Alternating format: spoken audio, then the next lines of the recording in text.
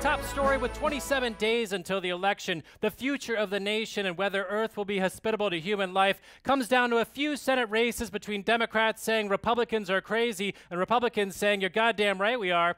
In Georgia, Republican nominee who is inspiring some mom to withdraw her kid from flag football as we speak, Herschel Walker, faces accusations related to having his own parking spot at Planned Parenthood. Here is how he defended himself against the unblinking eyes of Brian Kilmeade because Kilmeade doesn't know how to blink. No one is perfect. I'm a sinner.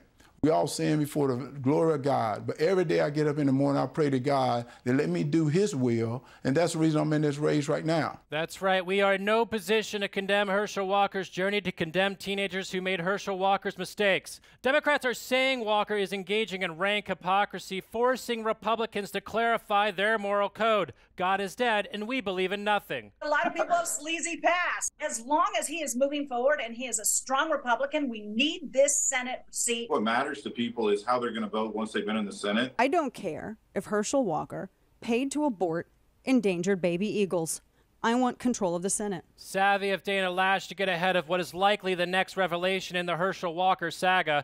Joining me to huff a tube of news glue, then claw some headlines into our own faces is Democratic strategist who blamed her last three breakups on Russian hackers, Lydia Parker. Good evening. Chief Washington Bureau Chief who hangs around pickup basketball games until someone asks him to ref, Jonathan Keene. Hello. Live from outside Herschel Walker's campaign headquarters in Atlanta, Chief Field Correspondent who has gotten a medically dangerous amount of shampoo shampoo in his eyes, James Smartwood Jr. Dad? Hey, James. And CBS News senior White House correspondent and Tooning Out The News contributor, Weijia Jiang. Thank you so much for being here, Weijia. Thank you for having me. It's really exciting to be with you guys tonight. Absolutely. Now, let's talk about that Republican pivot to We Just Want to Win. How inspiring is it for voters if Republicans' new campaign slogan is Vote for Our Craven Accumulation of Power? So this is uh, uh, something that we had to grapple with um, starting in 2016, right? Right. Whenever many pundits and analysts looked at the now infamous Access Hollywood tape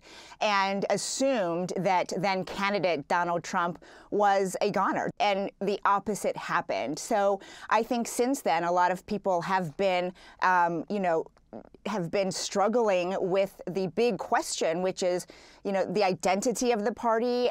But as we just heard in that clip that you played, James, um, you know, some people just don't care. They want that power, and they they say, you know, it doesn't matter what the candidate has done. If he's going to be a Republican, we will support him. Yeah, I'm just wondering, Democrats should maybe consider that you may not need to campaign as a morally perfect person to run a country that's just a pile of bloody money. Now, former football coach Tommy Tuberville went on a racist rant, and then former football player Herschel Walker engaged in all this madness. It's become clear that we are paying for our ungodly love of the golden calf that is football, and to save this nation, we need to somehow reverse football. I propose we blast Joe Theismann and Troy Aikman at each other at the speed of light, thus creating anti football. Well, we'll have to see if they're up for it. Let's turn now to Pennsylvania, where Democrat and sentient dive bar John Fetterman only holds a slim lead over Republican who many suspect simply changed his first name to Dr. Dr. Oz due to a stroke that, according to New York Magazine, still affects him. It's going to be a tough call for Pennsylvania voters to decide whether they would rather have a senator with reduced cognition or a senator they wish had reduced cognition. Oz is really trying to pressure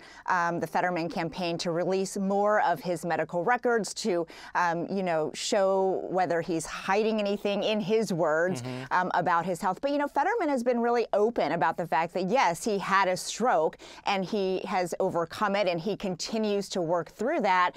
Um, and in fact, you know, when Oz's campaign poked fun at Fetterman for having a stroke. His senior communications aide said that if Fetterman had ever eaten a vegetable in his life, maybe he wouldn't have had a stroke. That really backfired. Well, I'm just worried that Fetterman seeing a doctor and receiving adequate medical care will be very unrelatable to all those Americans currently treating their cardiac arrest with a toilet snake. Look, I've been wary of Dr. Oz ever since he sold me a skin tonic whose primary ingredient was ionized hog sphincters. Now, I know it's our job in the media to remain as unbiased commentators of our political system, I'm starting to worry that the country is driving toward a fascistic cliff and we're all just voting on what sort of gas we should put in the tank. I mean, does anyone agree here? Oh, no. Hello, I am Chuck Todd. By threatening to fully comprehend the actual gravity of our political reality live on air, you have violated the sacred law of the news gods. It is the news media's humble calling to distract the masses with inane bullshit while our corporate overlords exploit the system to rob them blind. Oh, okay, my bad. Uh, I won't do that again. You're not going to push back at all? No, I'm good. I mean, I get to sit behind a big desk and, you know, be on TV. Okay, cool. Uh, so you want to grab drinks after the show? Uh, not really. Kind of sort of busy over here. With the, okay, you know, so stuff. some other time.